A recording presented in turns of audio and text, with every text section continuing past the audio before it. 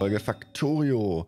Ich bin schon mal hier äh, runtergelaufen und habe auch schon mal äh, ein bisschen über 1000, ich glaube 1300 Beton mitgenommen, denn wir fangen heute mit dem Bahnhof an.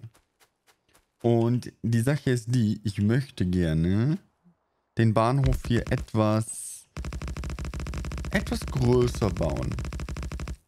Denn das wird diesmal ausnahmsweise kein Provisorium. Ich glaube, drei breit ist gut, oder? Ne, drei breit ist auch nicht gut. Vier breit. Überleg gerade. Kein Provisorium, sondern das soll hier dann groß genug für immer sein.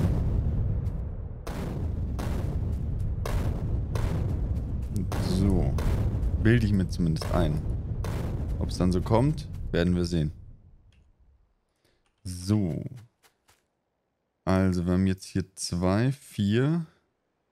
Ich glaube, sechs ist gut. Wir brauchen schon, wir brauchen schon Platz. So, dann ein Gleis. Also drei normale sind es, ne? Eins, zwei, drei Gleis. Eins, zwei, drei Gleis. Vier Gleise. Ähm, reichen vier? N nee. Eins, zwei, drei, vier. Eins, zwei, drei. Vier. Ich überlege gerade, ob es vielleicht auch Sinn macht, einen Teil nach da zu verlegen, aber nö. Jetzt haben wir hier eins, zwei, drei, vier, fünf Gleise ein, eins, zwei, drei, eins, zwei, drei, vier, fünf. Eins, zwei, drei, vier, fünf. Ja. Damit hätten wir bis auf Wasser und Rohöl eigentlich alles abgedeckt. Und Wasser und Wasser sowieso nicht. Und Rohöl würde ich ganz gerne äh, halt anderweitig transportieren. Und zur Not äh, kann man ja noch einen hier dann dran bauen. Aber glaube ich nicht, dass wir brauchen. So. So.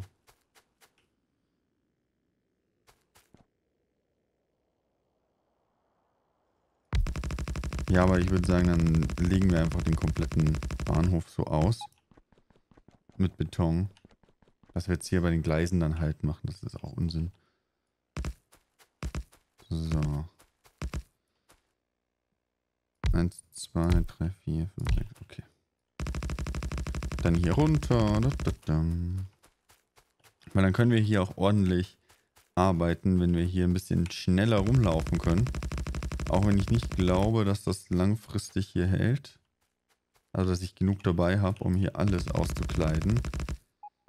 Äh, Wäre es schon mal ein guter Anfang. Denke ich. Weil hier braucht man halt doch einige tausend. So. Oh, das Geräusch, ne?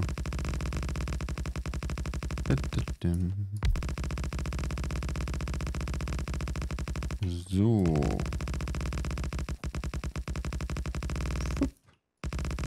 Und weiter geht's. Ja. Fertig. Okay, ich glaube, wir brauchen ja noch 2000. Aber das ist ja erstmal irrelevant. So. Denn das ist ja nur Bonus, sage ich mal.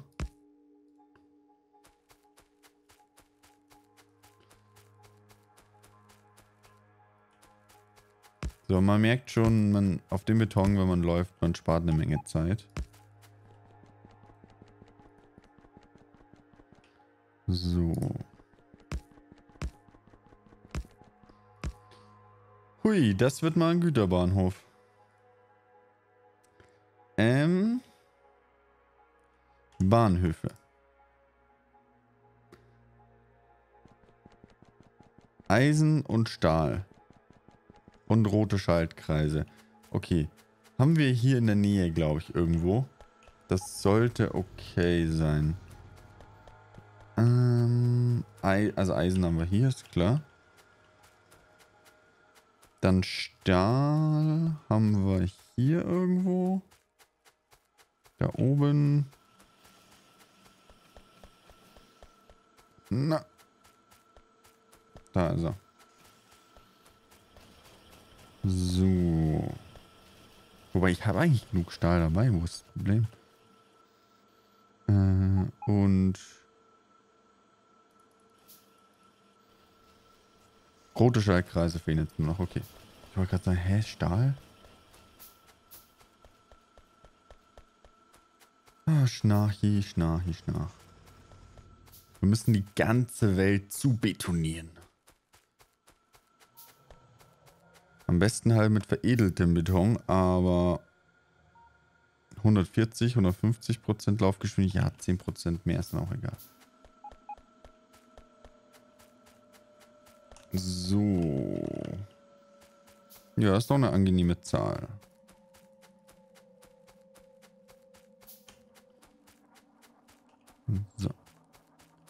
Also ihr könnt euch vorne schon vorstellen, welche Ausmaße diese Raffinerie später annehmen wird. Ich bin mir nicht sicher, ob das vielleicht ein bisschen over ist. Also wir werden auch hier wahrscheinlich dann alles nochmal abreißen. Ja, wir werden auch hier alles nochmal abreißen und das alles neu bauen. Aber so ist das halt bei Factorio, ne? Kann es sein, dass die jetzt gleich echt fertig sind? Die sehen da unten nur noch 19 stehen. Ich habe natürlich wieder kein Ding hingebaut, ne? Aber egal. So. Also die Züge kommen hier an und ich würde sagen, in diese Richtung kommen die an.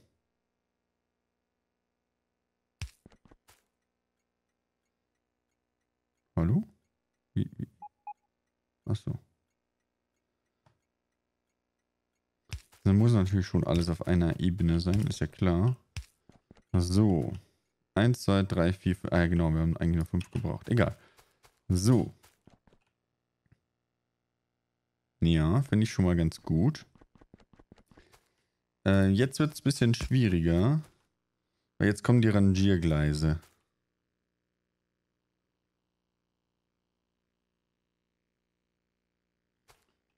Hm, das geht doch auch enger, oder? Geht, geht nicht?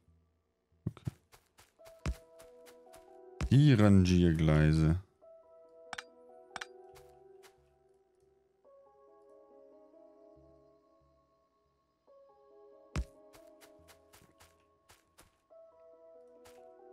Ja, dann machen wir es am besten so. Dass das Hauptgleis dann quasi ja, das Hauptrangiergleis wird.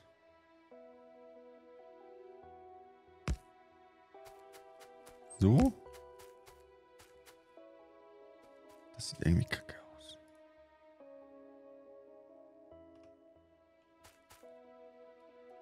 Nö, das gefällt mir gar nicht.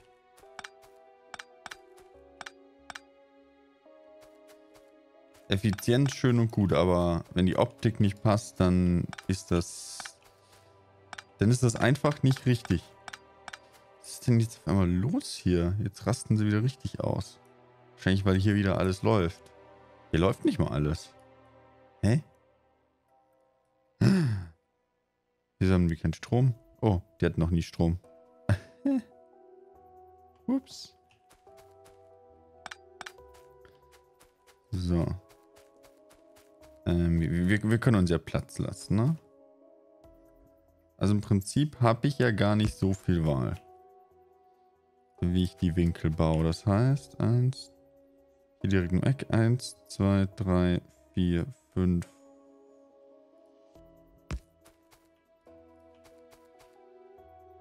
Eins, zwei, drei, vier, fünf. Okay, das ist halt dann wieder viel... Hm? Ja, wobei, es geht eigentlich. Wenn wir sagen, hier zum Beispiel 1, 2, 3, 4, 5. Nee.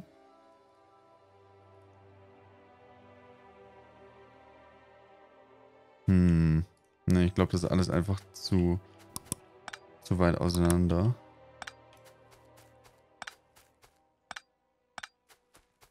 Ich muss ja selber erstmal lernen, wie das alles geht. Also bitte schreit nicht in den Kommentaren. Eins, zwei, drei. Und beim vierten. Eins, zwei, drei. Und beim vierten. Eins, zwei, drei. Und beim vierten. So. Ja, das äh, finde ich schon mal ganz gut. Bis auf die Tatsache, dass das hier jetzt irgendwie noch da dran muss. Oh. Das geht sogar. Ha. So, Kernbrennstoff Wiederaufbereitung. Das ist sehr gut. Dann kriegen wir aus den verbrauchten Uranzellen wieder das Uran, das wir nicht haben wollen. Yay! Aber mit dem Uran, das wir nicht haben wollen, können wir Uran machen, das wir haben wollen. Hätten wir nur das hier. Und das können wir nicht machen wegen Hochtechnologie, klar. Da sind wir ja quasi gerade dran. Ähm, was könnten wir denn machen? Arbeitsroboter, Transportmenge. Mhm. Kampfroboter, Flammenwerferschaden, Lasergeschützturm. Nee, geht nicht. Geht auch nicht. Inventarlogistikplätze, Forschungsgeschwindigkeit. Das ist echt nicht erforderlich. Ähm, Entladungsverteidigung, Raketenschaden, Kohleverflüssigung. Okay, mal, wo kommt dann das Kohle? Ja, aus Kohle, Schweröl und Dampf bekommt man noch mehr Schweröl, Leichtöl und Alkangas. Ja, aber wir haben momentan jetzt nicht so den, den, den Ölmangel, ne? Das ist jetzt nicht so dramatisch. Das ist vielleicht ganz gut. Oder Produktivitätsmodul 3. Ich glaube, wir erforschen erstmal das. Oh, das ist schon eins der Sachen, die wir hier brauchen. Okay, und Raketenfeuerrate müssen wir auch noch. Geschwindigkeitsmodul 3. Ah, okay. Ja, dann machen wir erstmal das hier. Kostet nur 300. So. Weiter im Text. Äh. Ja.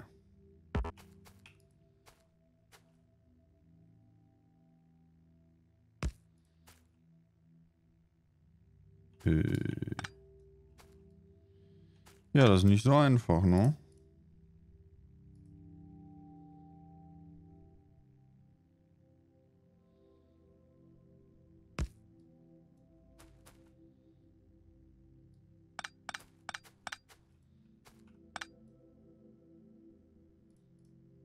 So.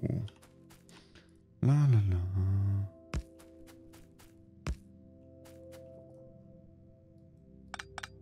Nein. So. Dann. Okay, ich glaube, es ist sinnvoller. Hier, auf, hier einfach immer schön direkt auf schräg zu gehen. Und im Nachhinein dann die äh, falschen hier abzubauen. Ich glaube, das ist gar nicht mal so dumm. Vielleicht schon, aber ich glaube nicht. So. So, dann fahren hier die Züge auf ihre entsprechenden Gleise. Tja, und da oben sollten sie rein theoretisch wieder aufs Gemeinschaftsgleis.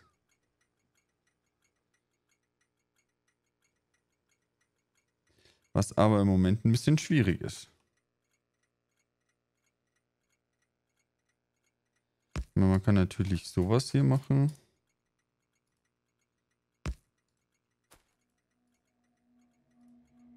So.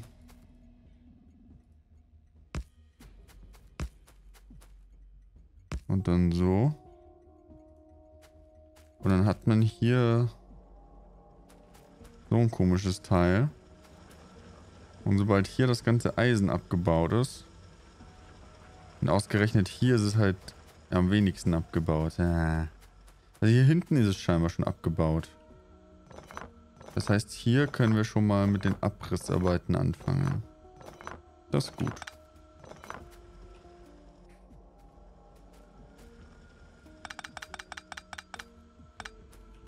Weil genau da sollte dann schon die Wendestrecke hin. Wo das Ding hier ist. Aber ich befürchte mal, dass genau, ja da vorne halt, dass es genau da schwierig wird. Weil da noch das meiste Eisen ist. Ist ja besser gewesen andersrum, aber gut. So plant man ja nicht. So. Wobei hier schon ordentlich was weg ist. Also. Hui. Muss man schon mal sagen. Weg, weg, weg. Weg. Das sind noch 700. Da ist nichts mehr. Da nicht. Da nicht. Da nicht. Da nicht. Da nicht, da nicht.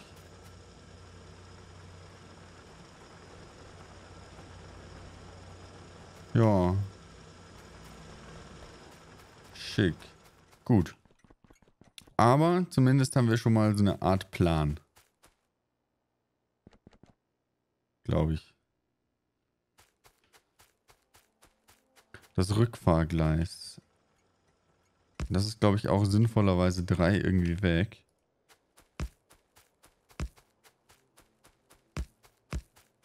setzen wir die Schienen auch mal. So, um die Kurve will ich mich jetzt nicht kümmern, dass die gut aussieht. Ähm und dann kann man hier irgendwie so da so hin oder so. Mal gucken. Aber erstmal muss das weg. Egal. Ähm, wir sind ja noch lange nicht so weit, dass wir das bräuchten.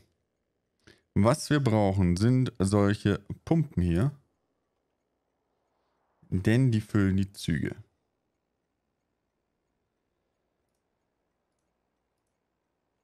So, und ich mache jetzt erstmal nur für den ersten Wagen. So. Das ist ja die Lok, die ist ja eh elektrisch betrieben, das ist egal. 1, 2, 3, 4. Dann hier rüber. 1, 2, 3, 4. Und das Ganze da theoretisch nochmal. So.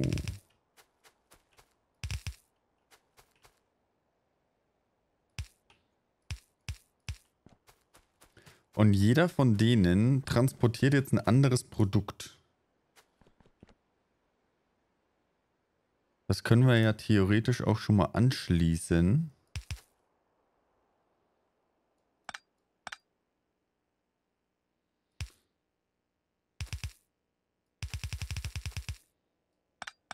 Wobei ich würde gerne mehr unterirdische Rohre benutzen, weil die, soweit ich das gelernt habe, besser sind. Weil quasi durch jedes Rohr äh, wird äh, geht quasi Flow verloren, nenne ich es jetzt mal. Und, aber durch so ein unterirdisches Rohr geht halt nicht das alles hier verloren, sondern nur das Ein- und Ausgangsstück. Und das macht es halt schon deutlich angenehmer. Zack.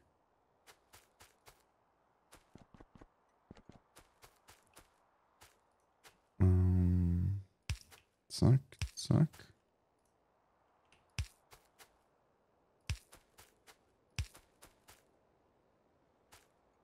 So.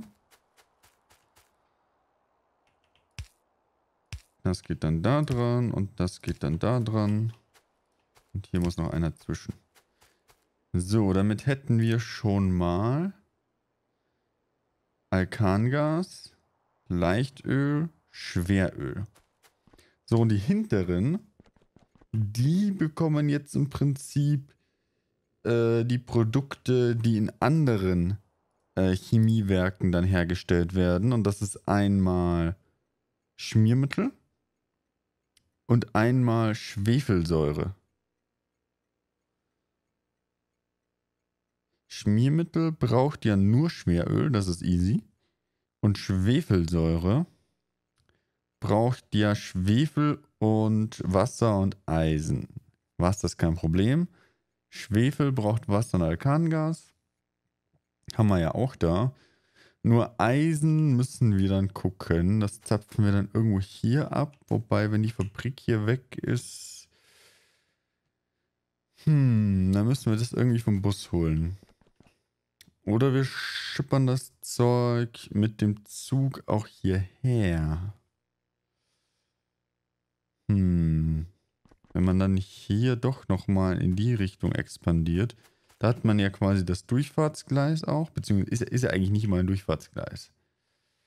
Das ist eigentlich auch ein Problem, ne? Wir haben gar kein Durchfahrtsgleis. Das ist eigentlich nicht gut. Das ist sogar überhaupt nicht gut. Wir brauchen auf jeden Fall ein Durchfahrtsgleis, wenn das dann später hier so durchfahren kann. Das heißt, dass wir... 1, 2, 3... 1, 2, 3... Hier auch noch den Bahnhof weitermachen.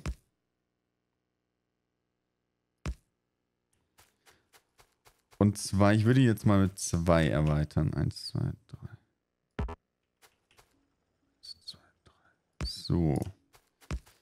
Dass wir theoretisch noch ein Gleis für Anlieferungen jeglicher Art haben. Gut, dass der Bahnhof nicht irgendwie übertrieben groß wird, ne? Also finde ich, finde ich toll. ähm, woran mangelt es denn an den Pumpen? An Motoren, okay.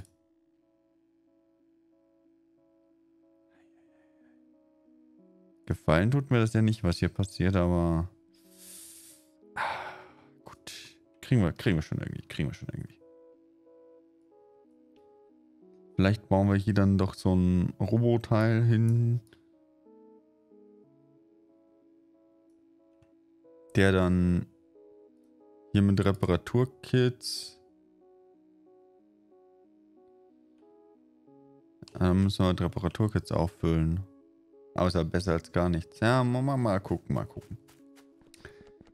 Gut, auf jeden Fall, das sind jetzt hier die drei Grundstoffe. Und hier, das können wir eigentlich auch schon mal anschließen.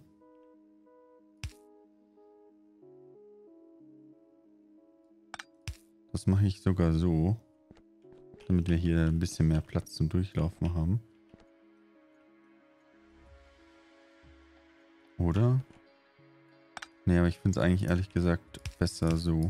Ich finde es einfach schöner so. Nicht besser, sondern schöner. Also ich werde viele, viele, oder was heißt viele? Ich werde einige Sachen auch rein aus optischen Gründen treffen. Was natürlich die die Leute, die es richtig drauf haben, sich denken so, oh Gott, warum macht der das? Ah. Aber bei mir ist auch Optik wichtig. no. So. Ähm, was sicherlich Sinn machen würde. Oh. Okay. Dann, äh, ja, machen wir einfach das hier. Was sicher Sinn machen würde, wäre, wenn wir hier am Bahnhof Lager hätten. Also wirklich große Lager.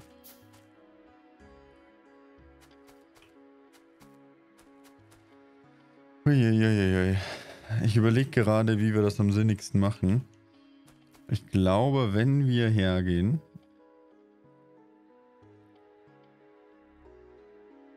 Eins, zwei.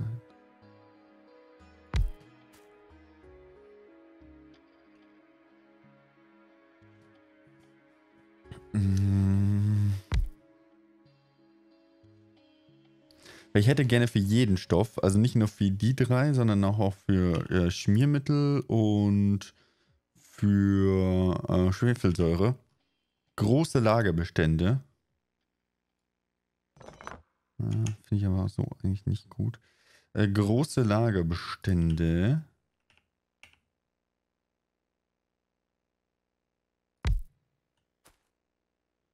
Damit dann, wenn zum Beispiel gerade ein Zug kommt, der auch eben schnell genug abgetankt werden kann. Das würde aber eigentlich bedeuten, dass die Lager ja eher zwischen, also das sollte dann nicht direkt an die Raffinerie angeschlossen werden hier, sondern die Lager sollten dazwischen liegen. Quasi wie so ein Puffer. Aber wir brauchen viel mehr Lager, damit ich mir da korrekte Gedanken machen kann. Stahl haben wir ja, das heißt eigentlich mangelt es nur an Eisen.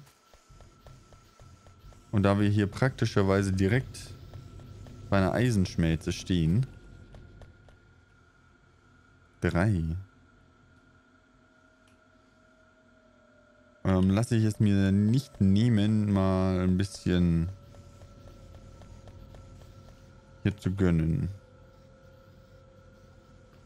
So. Ja, je mehr die hier zu tun haben, desto mehr geht am Ende dann, könnte man jetzt behaupten, auch der, äh, der Vorrat hier weg. Und das ist ja ausnahmsweise mal, was wir wollen. Bergbauproduktivität. Ja, das nehme ich auch gerne mit. So, aktuell können wir bauen. 53 Lager. Passt. So. Bisschen Krammer hier aus der Hotbar. Warum ist das alles in der Hotbar? Ja, Lager dürfen die Hotbar. Auch hier ist wieder so viel Mist in der Hotbar. Fürchterlich. Raus, raus. Ja, das darf eigentlich auch. Das darf auch raus. Also verschiedene Strommasten sind okay. So, also. Dann würde ich sagen, fangen wir die Lager hier mal an. Eins, zwei, drei, vier, fünf.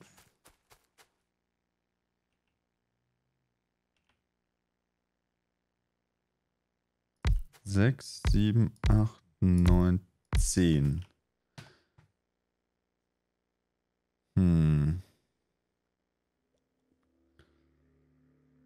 10 Lager pro Flüssigkeit. Ist das zu hart? Nö, ne? Das geht schon.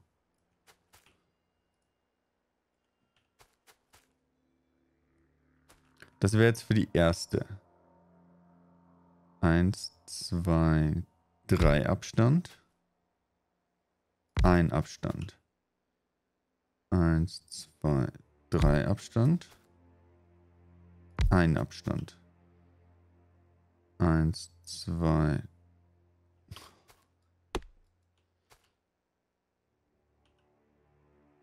Eins, zwei, drei Abstand. Ein Abstand. Eins, zwei, drei, vier. Noch einmal. Eins, zwei, drei Abstand. Ein Abstand. Jetzt haben wir wie eins, zwei, drei, vier, fünf Flüssigkeiten. Das war korrekt, ne? Eins, zwei, drei, vier, fünf Flüssigkeiten, die ich verladen möchte. Okay. So weit, so gut. Vier, fünf.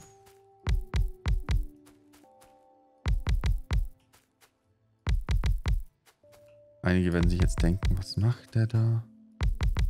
Ich habe da schon so einen Plan gerade im Kopf. So. Gut. Äh, mehr Tanks brauchen wir jetzt eigentlich ehrlich gesagt. Ja gut, die zwei kann er auch noch machen.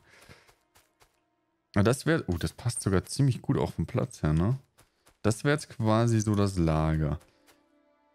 Und das hier ist jetzt die Zubringerleitung. Also von, von der Raffinerie geht es über diese Leitung hier ins Lager.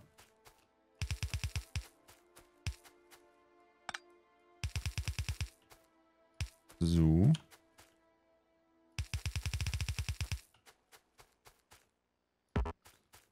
Ja, die letzten beiden hier weiß ich noch nicht genau, wie wir das dann anschließen, aber das kriegen wir auch irgendwie hin. So. Machen wir das hier nochmal weg.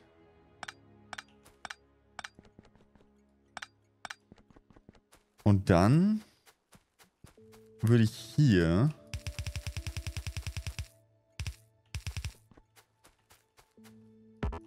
Na.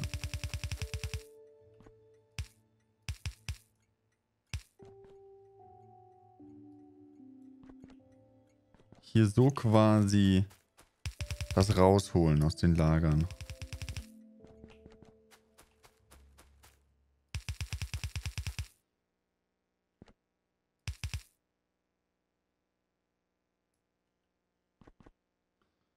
Vielleicht dann auch irgendwie So ist das gar nicht nötig. So mit einem Abstand reicht er eigentlich schon, damit sich die beiden nicht verbinden. Machen wir das mal bei den ersten dreien. Ich möchte mal schauen, wie, wie sinnvoll wir das verkabelt bekommen. Oder verrohrt, in dem Fall.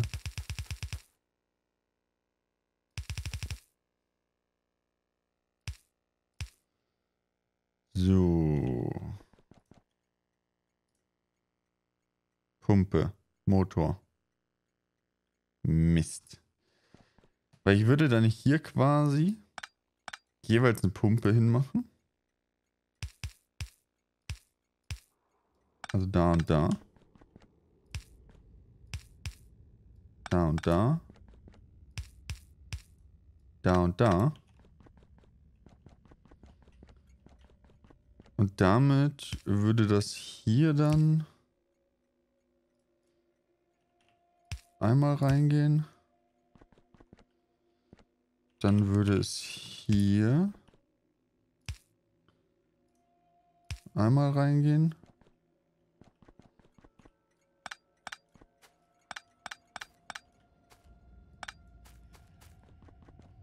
Und dann würde es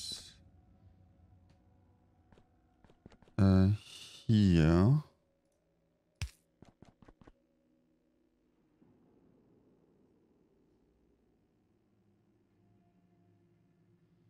Ähm.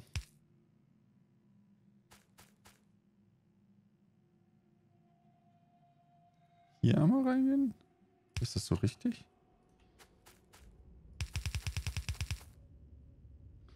Es dürfte sogar noch ein weiter. Weil wir müssen hier aufpassen, weil hier kommt ja dann die Leitung weiter für die anderen Tankwagen, ne? Deshalb. Die dürfen sich natürlich nicht berühren.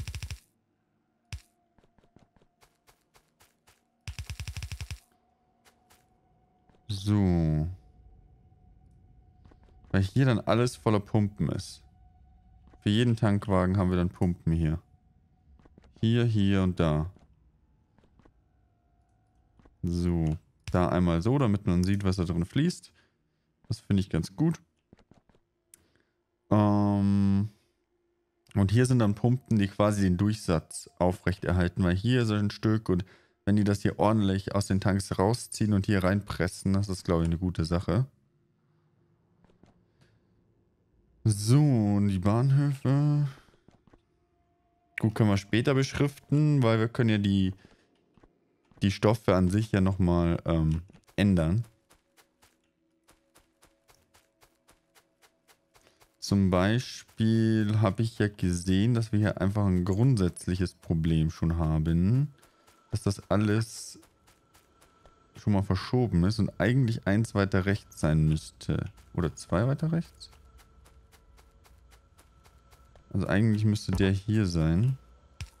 Ja, zwei weiter rechts. Weil die Zwischentanks, die kommen dann auch alle weg. Und dann sind wir halt zwei weiter rechts.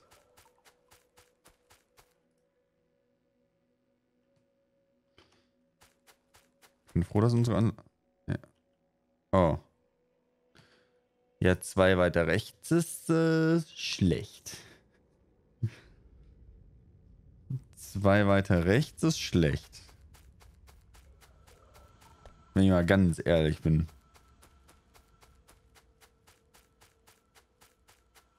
Hm. Wobei ja auch nichts dagegen spricht, die hier zwei weiter nach links zu setzen, ne? Nö. Also können wir ruhig das hier als Anhaltspunkt nehmen. Und dann passt das schon. Ja, machen wir das so. Das heißt, dass da nach da was transportiert wird. Von da nach da und hier einfach so. Klingt ja schon mal gar nicht so verkehrt. Wobei ich dann sagen würde, okay, dann wenn wir das eh schon so regeln.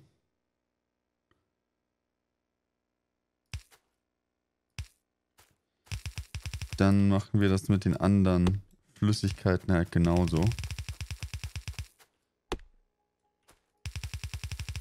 Die werden dann halt dann nur anders hergestellt. Oder woanders. Oh. Hier auf der Seite vielleicht gleich. Zum Rohr ist es ja egal, in welche Richtung das fließt. Der Inhalt. Und dann sind wir quasi hier. Also wir haben jetzt die drei. Und dann wären wir hier bei dem Rohr. Und das... Oh, das geht sogar auch noch bis darüber durch. Krass. Also die Range von den Rohren ist schon super. So, aber das hier geht nicht mehr, genau. Dann müssen wir dann so einen hier machen. Ah, da kommt man sogar noch durch. Okay.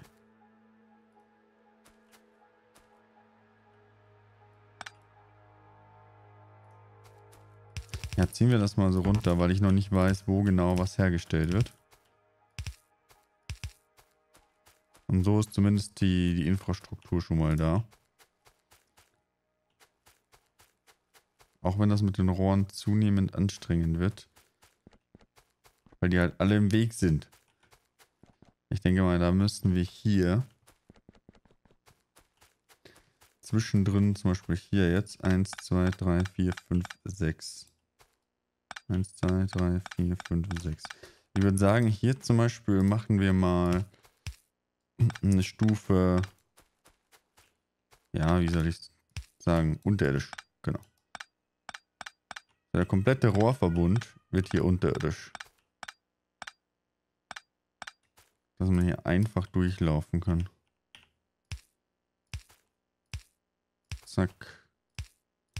Zack. Zack. Zack. So. Sehr, sehr schön. Ja, das könnte man jetzt an anderen Stellen auch noch machen, aber so zum, zum, zum Bleistift ist das schon mal ganz okay. Ja, ich würde sagen, bis zur nächsten Folge laufe ich mal ein Ründchen wieder und hole Motoren, damit wir dann äh, hier mit den Pumpen weiterbauen können. Und ja, falls ihr Ideen habt, gerne in die Kommentare. Äh, dann können wir in der nächsten Aufnahmesession, ähm, also quasi für die nächste Woche, dann äh, eventuell noch ein paar Änderungen vornehmen, weil ich glaube nicht, dass wir hiermit so schnell fertig sind. Ich bedanke mich fürs Zuschauen. Bis zum nächsten Mal. Tschüss.